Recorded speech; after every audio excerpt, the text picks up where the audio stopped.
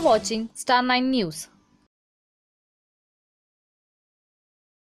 मुंबई के कांदीवली पूर्व, आकुर्ली माता मंदिर के परिसर में कांदीवली विधानसभा के बीजेपी के विधायक अतुल भातकलकर द्वारा होलिका दहन सार्वजनिक कार्यक्रम का आयोजन किया गया कार्यक्रम में भारी संख्या में लोगों की मौजूदगी रही और यही नहीं, विधायक अतुल भातकलकर ने महाविकास अघाड़ी सरकार पर आरोप लगाते हुए कहा कि राज्य सरकार द्वारा होली की पाबंदी लगाई गई। महाराष्ट्र सरकार हिंदू विरोधी सरकार है।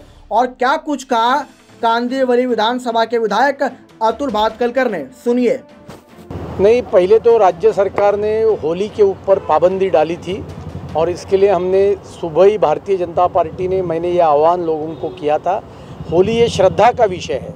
कल के रंगपंचमी में लोगों ने इकट्ठा नहीं होना चाहिए, ये हम समझ सकते हैं। लेकिन होली ये परंपरा, श्रद्धा का विषय है और इसके लिए ये सरकार का कड़ा निषेध हमने किया। ये हिंदू विरोधी सरकार है और इसके लिए यहाँ सार्वजनिक रूप से होली, मैंने इस यहाँ विभाग का विधायक के नाते आज हमने सबने मिलकर मनाई है और कोरोना के नियमों का पालन करते हुए हमने होली मनाई है।